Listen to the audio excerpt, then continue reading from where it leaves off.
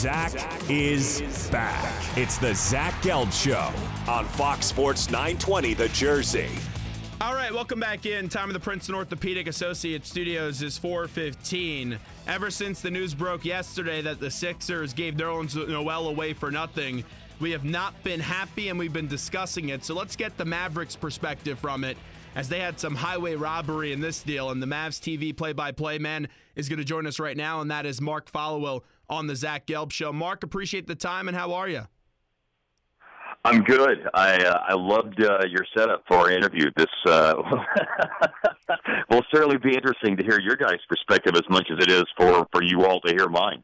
Well, we don't like it. And today, Bryan Colangelo did speak, and he talked about how they probably weren't going to pay Nerlens Noel, and they didn't want to give him that deal if there was another team that was going to match it because he's a restricted free agency, blah, blah, blah, blah, blah. And then he started to sell me on Justin Anderson. And I've watched Justin Anderson's career, and I talked to people around the league, and he hasn't been that good. You've seen him more than we have. Just tell me what type of player we're getting in Justin Anderson. Well, you're getting somebody who I do, do think has a future. Uh, you know, the thing with Justin is that number one, and and this is, of course is why he does have a future. Is we're talking about a fantastic athlete, an NBA body, a lot of bounce, the ability to do some pretty unique things in terms of chase down blocks, rebounding the ball for a wing player, uh, elevating and being able to finish around the rim, run the floor, be active, play with energy, do all those sorts of things. So he does have all of that. You know, the thing for Justin is that uh, other than his junior and final year at Virginia, he's never been able to demonstrate a consistent outside shot. And he had his ups and downs in terms of trying to get into Rick Carlisle's rotation this year. And, and, and let me backtrack a little. You know, last year as a rookie, he didn't play much. At the end of the season, though, the Mavs went on a really good run. Uh, there were a lot of injuries. Justin was forced into a starting small forward role, and I thought really thrived as a guy who could play off Dirk, who was still averaging 20 points a game at the time, uh, a red hot J.J. Barea, who was starting at point guard at the time, and as a matter of fact, late last year won Western Conference Player of the Week. I thought that he played really well off them.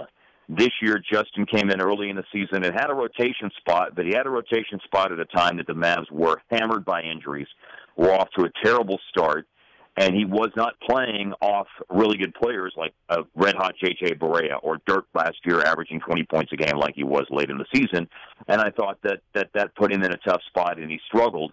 Uh, I, I think a year and a half into his career, I still see him as a play off of other people guy because of his off the ball movement and athleticism and cutting and those sorts of things, rather than a player who has reached a stage in his career where other people can play off him.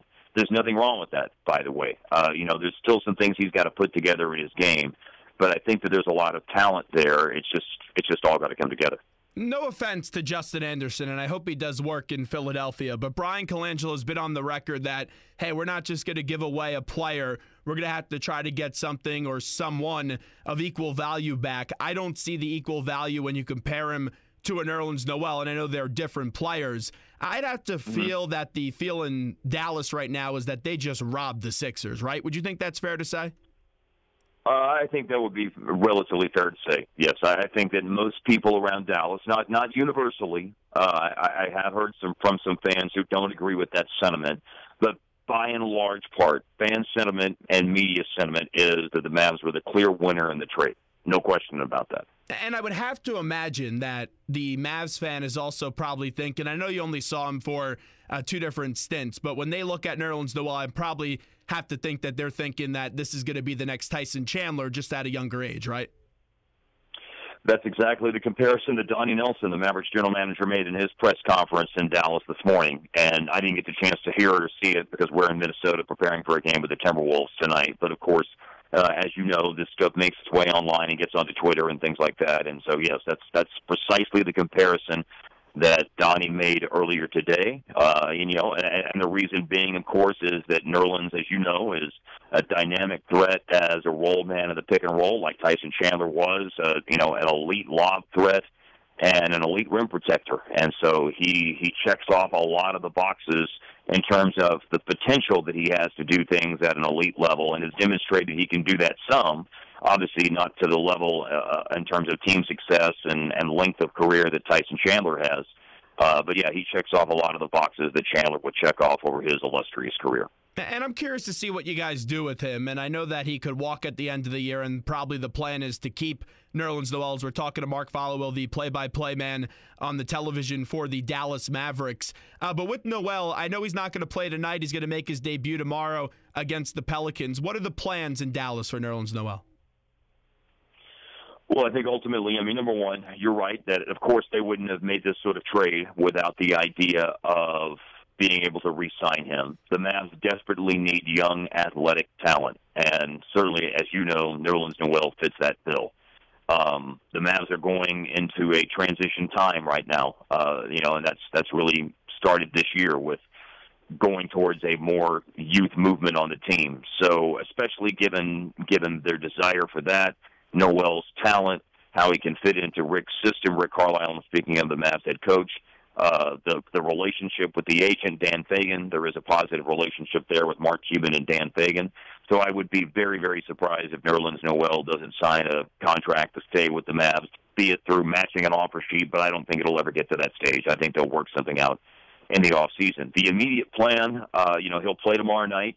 I don't know what Rick plans on doing in terms of you know maybe just to get him acclimated for a few games while he learns the system uh, he might come off the bench. I don't know that for certain. I mean, clearly, ultimately here, uh, this is somebody who has to be the Mavs starting center. I think you've got to give him that opportunity. I certainly understand bringing him off the bench for a while, for a few games while you get him acclimated, and it will cause a position a position change. That is, or presumably, I mean, in my opinion on this, I think this is going to lead to, for some portion of the remainder of the season, Dirk Nowitzki sliding from five back to four. Dirk's been playing five predominantly most of the year. Harrison Barnes moves from power forward down to small forward. Matthews, Wesley Matthews moves from small forward back down to shooting guard. Yogi Ferrell's the Mavs starting point guard right now. Somebody else that that you guys are familiar with after some time with the Long Island Nets in the D League, and of course with Brooklyn for ten games this year. Uh, you know, I think that would be what you would think the the optimal Mavs starting lineup would be for for some stretch at the tail end of the season.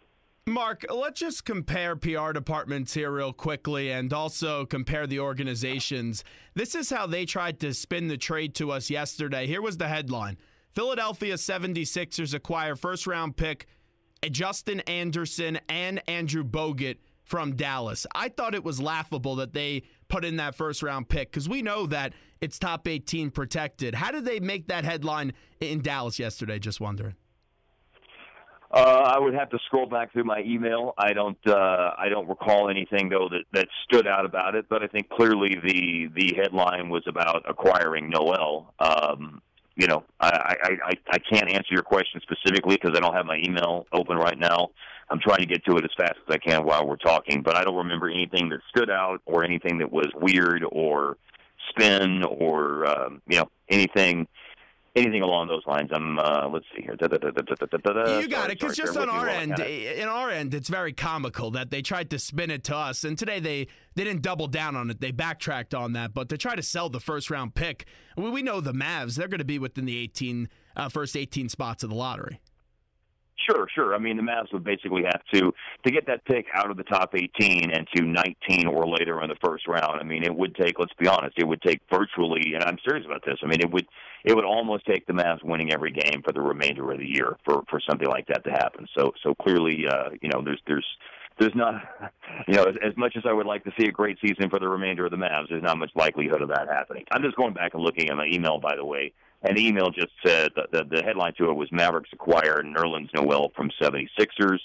Uh, they announced today they acquired Nerlens Noel in exchange for Isaiah, uh, and I'm sorry, in exchange for Justin Anderson, center Andrew Bogut, and a 2017 protected first round pick. Okay, that's how it was, fair that's enough. How it was positioned today. Mark, follow yeah. with us right now on the Zach Gelb Show.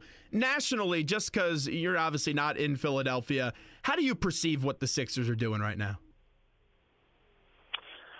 Well, I mean, the perception to me, of course, is that they spent way too much time in terms of kicking the can down the road and drafting players who wouldn't be here. Although the the Saric thing clearly seems like it's a positive thing, and Embiid clearly seems like this is going to be a positive. But but the perception is that it was torn down too far. I certainly understand the desire to want to get lottery picks, and it's understandable there are times in this league when you have to to to strip it down pretty far and you don't want to have a good record or a mediocre record because you want to be in a position to get the best draft pick you possibly can. Uh, for a while, I felt like though that that was just like we're we're we're going to be so bad, and we're going to not have any sort of veteran leadership to to provide uh, you know, somebody here who's been through the wars, who understand what it takes just to be a good professional. I mean, let alone getting into the winning aspect of things, just what it takes to be a good professional. So, so my perception is certainly they're doing something that you have to do in this league from time to time to be able to acquire high level talent. But, but my thought process has always been that they went too far that direction and completely, completely moving away from the concept of having any veterans to help uh, the transition process to the league for players coming out of uh, you know a year of college or two years of college. You know how tough it is to win in this league, and right now there's only a few teams that have a chance, and some people think it's only two teams that have a chance to win it all this year with the Cavaliers and the Warriors. That's why I'm fine now, and I've changed over the years on this tanking philosophy, but I'm fine with it. Do you possibly see, and I know the league fears this, and that's why they tried to run Sam Hinkie out of town, but do you possibly fear that maybe more teams will start tanking? And do you think that would be a smart approach?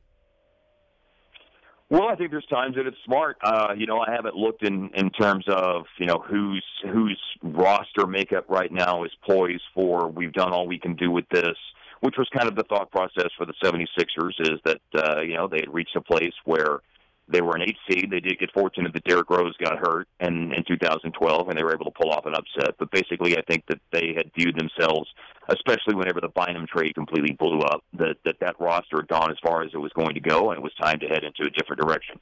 There's always going to be teams and organizations who realize that they're in a dead end place, and the only way to get out of the dead end is to drop down and be in a position where you're going to accumulate high level talent very early in the draft with high picks. So, you know, that thing is never going to go away.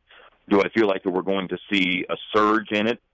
The only reason I think that you would make that argument is the CBA is trending into a direction with these supermax extensions and things like that, where where certainly it's going to be more more and more unlikely that great players are going to change teams in free agency. The money advantage is going to be so prohibitive in favor of the team that drafts you and brings you along that that's going to be the best way to to be able to secure the kind of talent that you need to win at the highest levels in this league. So so that to me will be what in the future is going to promote more of it if in fact we see an uptick in that. But there's always going to be teams who have to do it because as we know, um, you know, that's getting getting a high draft pick is is one method in terms of acquiring the kind of talent that you need to win at a high level. So that's never going to go away completely, of course. And Mark, I know you're focused on the game tonight, but lastly, tomorrow you're going to be able to see the Pelicans.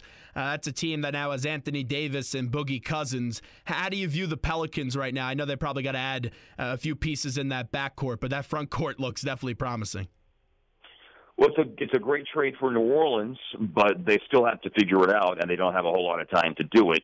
Uh, they're lucky in that it's a very, very compact race between a handful of teams that are separated by three games. I think there's six teams between eight and thirteen in the Western Conference that are separated by three games that are battling for that last playoff spot.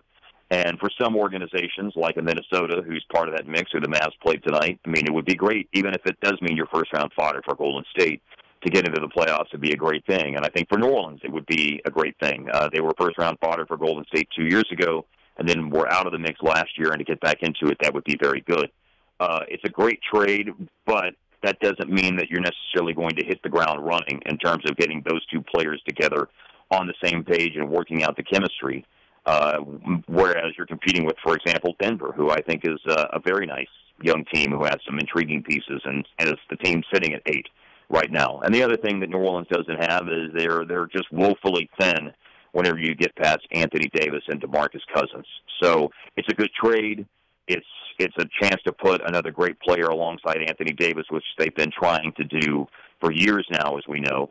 Um, does it mean they're going to make the playoffs this year? Like I think a lot of people viewed that as, oh, New Orleans is going to be the eighth seed in the West now, and I think that is by far from certain because you know they they've got to hit the ground running and figure out how to make that work in a really short period of time, and there's certainly no guarantees that they can do that, especially given the lack of talent that they have on their roster after you get past the top two players. Mark, just one more thing because it just popped up in my head. I absolutely love your owner and Mark Cuban, and I find his role in Shark Tank to just be awesome. What do they say in the mm-hmm. organization? What do the players say about Cuban when they see him on Shark Tank? Do they watch it? You know that is that's interesting. You asked me that. Uh, I, I believe that that players around the league have a very positive view of Mark because of spending money and passion for the NBA and passion for his team and his players. I really don't get much in the way of feedback from players around the league or others along those lines about Shark Tank. Um, you're, you, I got to say, you're the first person who's ever asked me what players around the league think about Mark on Shark Tank. I mean, I hear from fans about it, and and, and a lot of fans are feel good about it. Of course, there's always going to be a section of fans who don't like it and feel like it's distracting him from the team. But I have I have not heard one bit of feedback about Mark from players in the league vis-a-vis Shark Tank. Positive feedback about him as an owner. Uh, nothing positive or negative about his television performance on Shark Tank. I don't know why. So I would assume I would assume no news is good news, I guess. Yeah, just the way that he seems so in your face. And I happen to really like the guy and I think he's a very bright mind. I could just see him demanding the team going over to his palatial estate when there's a new episode of Shark Tank and getting a big bowl of popcorn or something. That's just the vision I have in my head. Uh, you know, I, I hate to burst your bubble on this, Zach. I really do, but but to my knowledge, there's no uh, there's no weekly gatherings at the Cuban household where the team is mandated to come over and, and give their review of his performance on Shark Tank. So there there are team bonding activities. I don't think that that's made it into the rotation yet, though. Very surprising, Mark Followill. Great stuff. Thank you. All right, take care, Zach. All the best.